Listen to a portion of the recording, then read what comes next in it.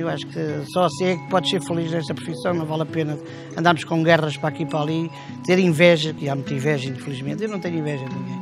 Portanto, pá, seres assim, pá, também tenho coisas más, não são coisas boas, também tenho ao feitiço se calhar às vezes. Agora vais botar o quê? Não sei, não me lembro agora, mas daqui a bocado sou capaz de me lembrar.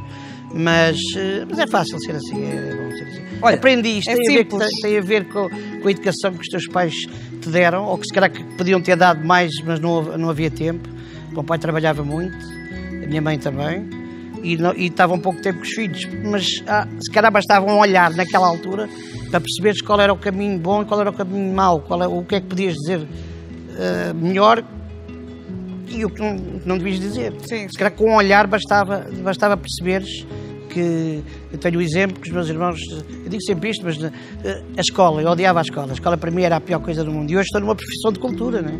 Pá, mas odiava a escola hoje. Eu passo por uma escola, eu se puder dar a volta e, e, e entrar por sentido proibido. eh, É tipo, oi! Meu querido Fernando Mendes, também gosto muito de ti. Mesmo. Muito obrigado. Muito.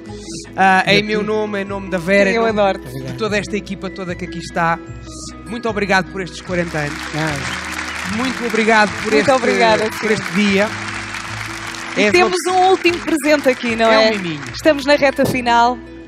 Temos, alguma, temos aqui algumas imagens destes 40 anos tão recheados. Vamos ver. vamos ver.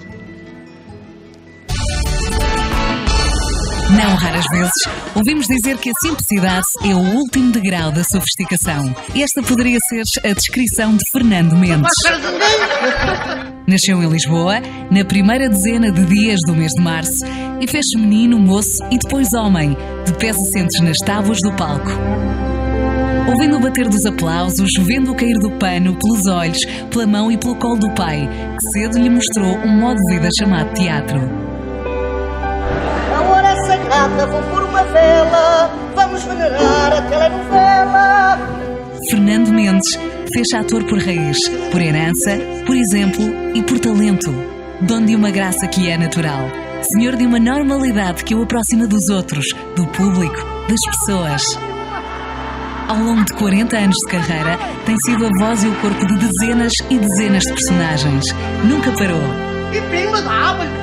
Enche salas, auditórios e teatros por onde quer que passe, rindo e fazendo sorrir, numa carreira que ultrapassa as linhas do espetáculo. Se mistura com o homem que é. O camarão, estás a falar com quem, ouviste?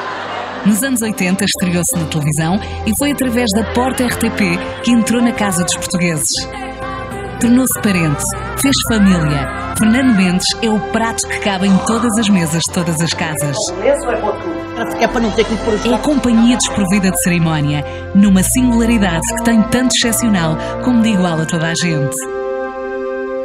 São 40 anos de palco, de partilha e de afeto, nesta peça que nunca acaba, onde é ator, apresentador, companheiros, amigo, pai e avô, neste teatro de improviso que é a vida vivida no seu todo, intensamente.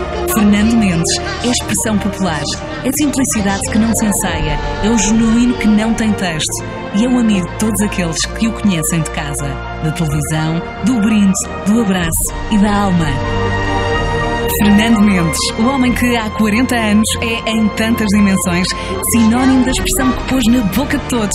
Fernando Mendes, o homem espetáculo.